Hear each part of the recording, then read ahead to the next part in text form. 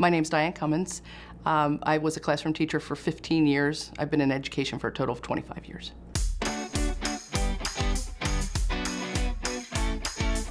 I taught um, English, secondary, um, every grade from 7 through 12 with the exception of 10. Well, I think I motivated my kids to learn because I always tried to think of myself sitting in their seat.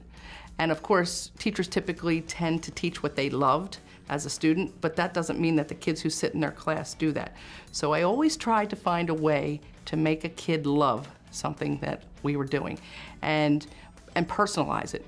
Because I feel like if you can't provide a context for what it is and why you need to know it, then they don't want to know it. So I typically would start class, and I taught a lot of classic literature. You know, I taught Macbeth and Chaucer and Beowulf, and you know, so and people would say to me, "How do you get a kid to like that?"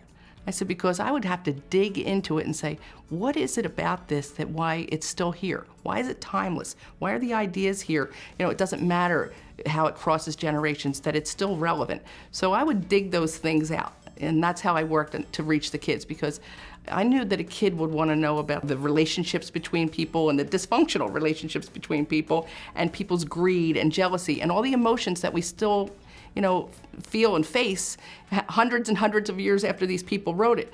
That's the crux and the core of why kids want to learn those things because then you can start to show a pattern of people's behaviors and it is ultimately it's not about the content that they learn it's really about the strategies and the skills and how they understand how to put that all together in order to kind of create some kind of meaning for themselves. But having spent the best part of my career as an English teacher, I was absolutely exhilarated. I can't even think of another word to see the Common Core, especially for the uh, for ELA, because of the fact that now it wasn't just the English teacher's responsibility to to teach those standards.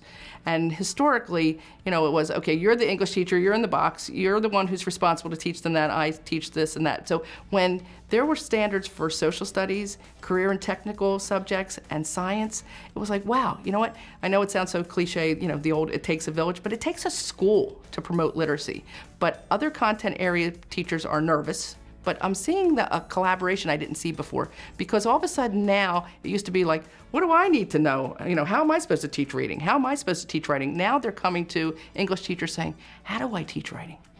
How do I teach reading? Help me with that.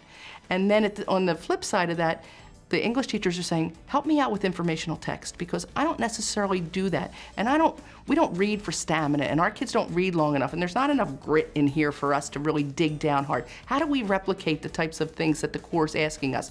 Where's the sophisticated text that they should be reading? Is it rigorous enough? So the conversations are ones that we haven't had, but it's really energizing our schools. Not necessarily, you know, people like jumped up and down, but I think when they started to really look at it, the focus became important about, you know, what are we teaching kids to do?